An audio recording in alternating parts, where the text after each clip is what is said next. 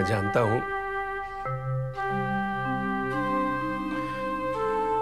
ये साँसें किसी भी वक्त मेरा साथ छोड़ने वाली है। अब तक शायद इसीलिए ज़िंदा हूँ ताकि बेटा, हम तेरा बुरा कभी नहीं चाहेंगे। हमने ये फैसला बहुत सोच समझ के लिया है।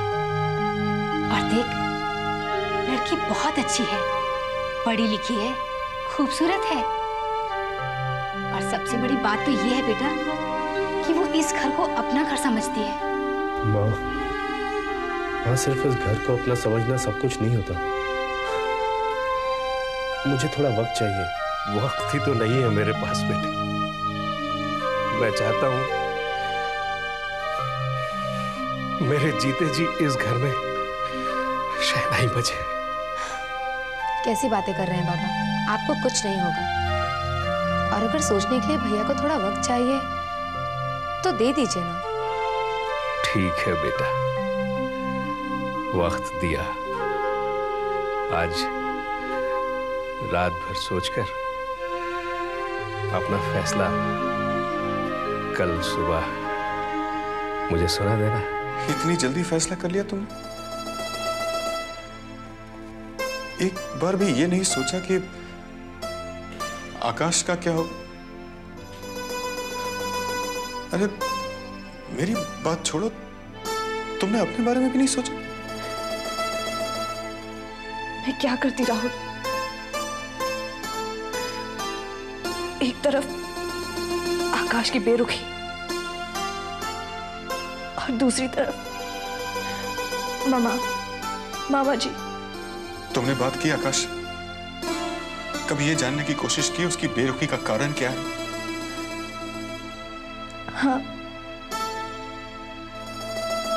हंसकर टाल जाता वो। समझ गया। जिस तरह तुम पर दबाव था उसी तरह उस पर भी दबाव रहा होगा। श्रुति ये सवाल तुमसे मैंने पहले भी किया था। अगर उसी वक्त तुम मुझे बता देती तो खैर अब भी वक्त है हमारे पास। नहीं राहुल। मामा ये सदमा बर्दाश्त नहीं कर पाएँगी। बर्दाश्त तो तुम्हें करना ही पड़ेगा। ये लो दवाई खा लो। आजकल के बच्चे हैं ये। माँ बाप की इच्छाओं का कोई मोल नहीं है इन्हें। अपनी मर्ज़ी हम पर लादना चाहते हैं। और अगर हम कुछ कहें तो बस। माँ, हमने पूरी ज़िंदगी भले ही पैसे इकट्ठे नहीं किए, लेकिन इस छोटे से शहर में आज भी लोग मेरा नाम बहुत इज़्ज़त से लेते हैं। मैं नहीं चाहता कि किसी भी वजह से कोई मुझ पर उंगली उठाए। आप लोगों को ये नहीं लगता कि मेरे साथ ज्यादती हो रही है? मैंने आपसे कहा ना कि मैं मैं शादी करूँगा और आप लोगों की मर्ज़ी के साथ ही करूँगा। बस इतनी जल्दबाजी मत कीजिए प्लीज़ हम जल्दबाजी नहीं कर रहे हैं बेटा। जो तुम सोच रहे हो वो हो नहीं सकता। और जो हो सकता है, उसे तुम नजरअंदाज कर रहे हो। तुम लोग चाहे कितना भी मुझसे छुपाओ, लेकिन मैंने डॉक्टर की रिपोर्ट्स पढ़ ली है। इसीलिए तो इतना उतावला हो रहा हूँ तेरी शादी के लिए। बचपन से लेके आज तक मैंने तुम सब पर सुख ही सुख लुटाए हैं। मरने से पहले मुझे दुखी तो मत होने। पिताजी ऐसा मत कहिए। मैं आपको दुखी नहीं करना चाहता।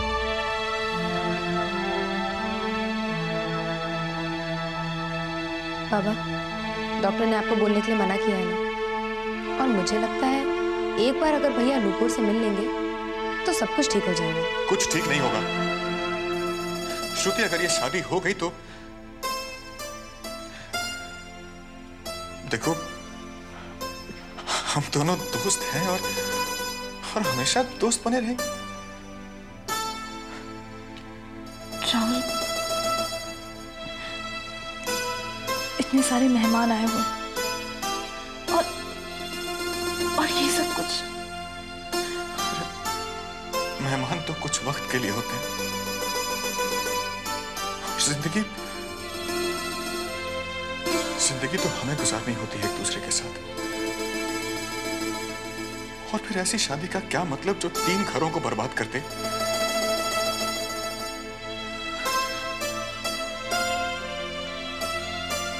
तुम चलो मेरे साथ। हम सबको अपना फैसला सुना देते हैं।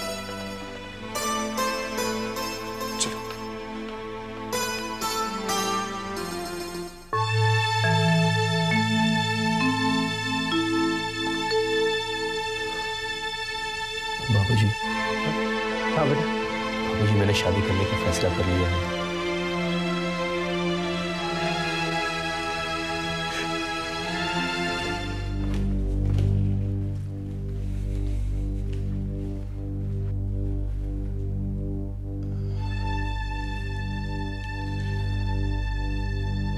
हमारा फैसला सुनकर आप लोगों को खुशी होगी, अफसोस।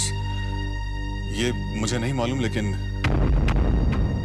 ये फैसला आप लोगों को सुनाना बहुत ज़रूरी है। मामा जी शादी ना तो ज़बरदस्ती की जा सकती है और ना ही हो सकती है। कहना क्या चाहते हो राहुल? श्रुति मुझसे शादी नहीं करना चाहती और मैं भी ये शादी नहीं करना चाहता।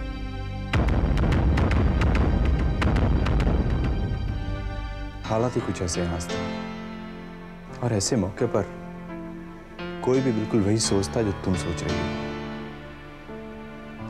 पर मेरा यकीन मानो मेरे मन में ऐसा कुछ भी नहीं। आलोक के साथ मैंने मेडिकल के पाँच साल हॉस्टल के एक ही कमरे में गुजारे। एक भी दिन ऐसा नहीं गया होगा जिस दिन तुम्हारा ज़िक्र न हुआ हालाँकि मैंने तुम्हें देखा नहीं, पर फिर भी मैं तुम्हें जानता पहचानता भी हूँ आज तक। शायद तुम मेरे सबकॉन्शियस माइंड में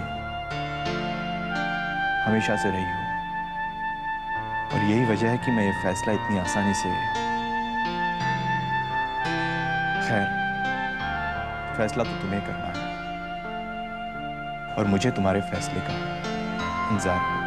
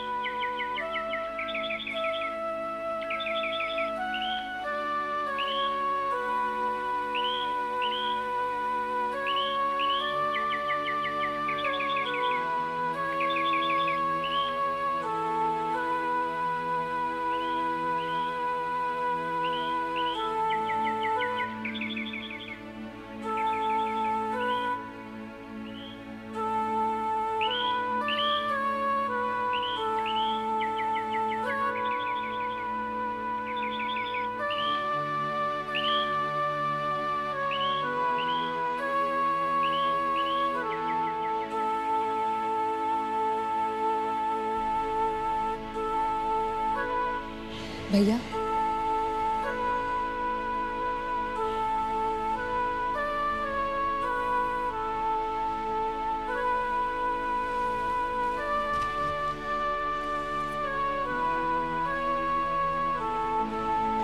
मैं संकल्प से शादी करूँगी।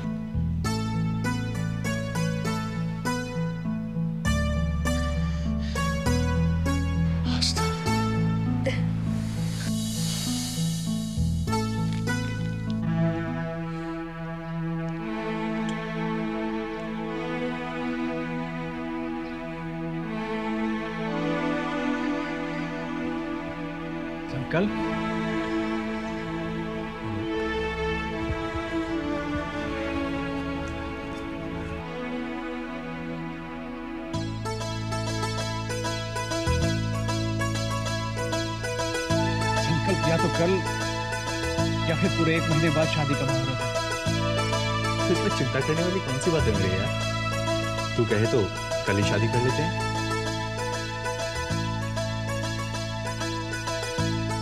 हाँ मैं सोनू बोल रहा हूँ। हाँ बेटा कैसा है तू? तेरी तबीयत कैसी है? देख बाहर का पानी मत पीना हाँ? ये सब छोड़ माँ। मेरे पास एक खुशखबरी है। कोई लड़की पसंद आ गई? हाँ माँ। कौन है वो? और कहाँ रहती है? उससे बात करा। कल ही शादी तय कर देती हूँ। शादी तय हो चुकी है। कल शादी है। कल? तू किसकी शादी की बात कर रहा है? मेरी माँ मेरी आस्था के साथ। आस्था के साथ? मैं कुछ समझी नहीं।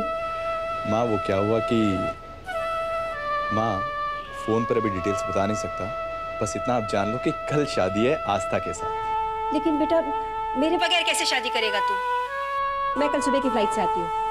माँ यहाँ ढंग का रेलवे स्टेशन नहीं है। आप फ़्लाइट की बात कर रही हैं। जब तक आप यहाँ पहुँचेंगी मैं वहाँ पहुँच जाऊँगा। ठीक है बेटा। बेटा मैं इतनी खुश हूँ इतनी खुश हूँ कि मैं बता नहीं सकती। बस तू जल्दी से आ जा मैं यहाँ की तैयारी करती हूँ। घर के बड़े बुज़ुर्ग मर गए हैं क्या? जब सारा फैसला खुद ही करना था तो फिर हमें शादी में क्यों बुलाया? हमें पूछे बगैर बारात लौटा दी। और अब? हमें पूछे बगैर दूसरी शादी भी तय कर दी। शादी कोई मज़ाक है क्या? ताऊ जी ताऊ जी ऐसा कुछ भी नहीं है। मेरा समझदार लड़का था वो खुद चला गया। ताऊ जी मैं आस्था का भाई हूँ एक डॉक्टर हूँ। और जब मैं ये सब जानता हूँ कि उसे एक ऐसी बीमारी है जिसका कोई भी इलाज नहीं है फिर उससे मैं अपनी बहन की शादी कैसे करवा और अब तुम जिसके साथ उसकी शादी करवा रहे हो क्या तुम्हें पता है कि उसे कोई बीमारी नहीं है? ताऊ जी वो एक डॉक्टर है। भगवान तो नहीं है ना? और क्या डॉक्टर को कोई बीमारी नहीं हो सकती? हो सकती है ताऊ जी लेकिन लेकिन लेकिन कुछ नहीं। पहले हम उस लड़के की कुंडली मिलाएँगे फिर डॉक्टरी जाँच भी करवाएँगे तब होगी शादी। ताई जी नीरज की कुंडली भी तो आप लोगों ने मिलवाई थी। ताई जी कल के बाद पूरे एक महीने तक शादी का कोई मुहूर्त नहीं है। अच्छा तो आस्था तेरे लिए बोझ बन गई है। ठीक है? अगर ऐसा है तो हम आस्था को अपने साथ दिए जाते हैं। संकल्प मेरा दोस्त है ताऊ जी और एक महीने तक। देखिए आस्था और संकल्प एक दूसरे को जानते हैं। तो ठीक है। जब तुमने फैसला कर ही लिया है तो फिर हमारी यहाँ क्या ज़रूरत है? हम चलते हैं। चलो जी। ताऊ जी ताऊ जी प्लीज़ आप लोग मेरी परेशानी नहीं समझ रहे हैं। अब हमें कुछ नहीं सुनना है। चलिए। चलिए। ताऊ जी।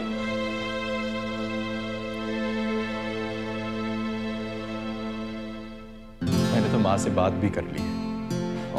अब तक तो वो बहू के स्वागत करने की तैयारी में भी जुट गई होगी। अब तू तो जानता ही है लोग, कितनी उतावली थी मेरी शादी के लिए। अगर मैं अब उससे कहूँ कि नहीं, मैं तो नहीं कह सकता। अब मैं क्या करूँ? तू ही बोल। मैं तो चारों ही तरफ़ से पिस रहा हूँ। देखा लोग, अगर आस्था तैयार है तो ताऊजी और ताईजी को मनाने में ज़्यादा वक्त नहीं मैं उन्हें मनाने की हर संभव कोशिश कर चुका हूँ। और अभी तक तो वो लोग जा भी चुके होंगे। अब मैं क्या करूँ? फैसला तो तुझे ही करना है।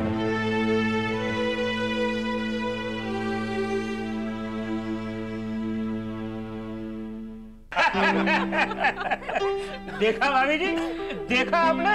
ये बात नोट करिए कि जब से बेटे की शादी तय हुई है शंकर जी एकदम तंदुरुस्त हो गए। ये तो कल से इतनी बातें कर रहे हैं भाई साहब कि मैं आपको बता नहीं सकती। और आज तो कह रहे थे कि मैं दवाई नहीं लूँगा। लो बोलो भाई आप इतने कम समय में तैयार हो गए मेरा साहब। बहुत बहुत शुक्रिया। शुक्रिया कैसा भाई साहब? हमारी तैयारी तो बहुत पहले से थी। बस आपका हुक्म का इंतज़ार था। जी। भाई अब तो ईश्वर से यही दुआ है कि सब काम ठीक ठाक निपट जाए। आप लोग बस एक मिनट बैठिए मैं अभी आती हूँ। भाभी जी कुछ लाने की कोई ज़रूरत नहीं है। नो फॉर्मेलिटीज प्लीज़ हम लोग घर से खा पी कर आए नहीं नहीं ऐसे कैसे हो सकता है? मुँह तो मीठा करना ही पड़ेगा। ऐसे मौके पर मुँह मीठा करना शुभ होता है। मैं बस अभी आई।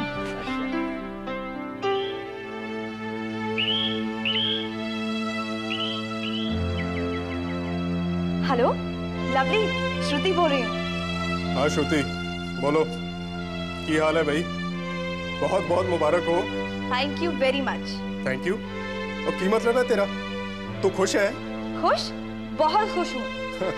और दरअसल कसूर तुम्हारा नहीं है श्रुति। औरत जात होती है ऐसी है बेवफा। लवली तुम ऐसा क्यों कह रहे हो? मेरी खुशी से तुम खुश नहीं हो? खुश? और खुश तो मैं तब होता जब आकाश खुश होता। वो तो बेचारा ज़िंदा लाश बन गया। कहाँ है आकाश? लौट आया कि नहीं? और तुझे क्या फ़र्क पड़ता है वो लौट के आए या ना आए हैं? उसकी दुनिया तो लुट गई ना। लवली तुम ऐसी बातें क्यों कर रहे हो? ये सब कुछ तो मैंने आकाश के लिए ही किया है। अच्छा तो तूने ये शादी आकाश के लिए की है? शादी? अरे मेरी शादी तो हुई ही नहीं है। अब मैं शादी करूँगी तो सिर्फ़ आकाश से। और तू ये क्या कह रही है? हाँ ओ बल्ले हो तेरे। आकाश तू बच गया हुआ है। ओ बल्ले बल्ले तू बच गया आकाश तू बच गया हुआ है। Hello lovely. Hello. Hello hello भाभी। हुई नहीं हूँ होने वाली हूँ। अच्छा सुनो आकाश का फ़ोन नंबर है तुम्हारे पास? अरे उसका फ़ोन आया था उस दिन जिस दिन तुम्हारी शादी होने वाली थी। हाँ लेकिन नंबर नहीं दिया उसने मुझे। अच्छा ठीक है।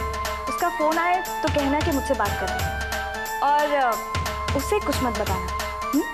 ओ मैं समझ लूँगा आज समझ गया भाभी मैं? आप फ़िक्र मत चुप। अभी हुई नहीं हूँ। होने वाली हूँ। ओके बाबा होने वाली हूँ। बस।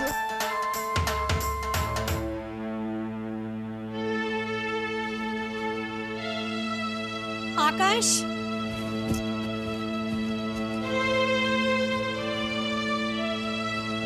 आकाश बेटा?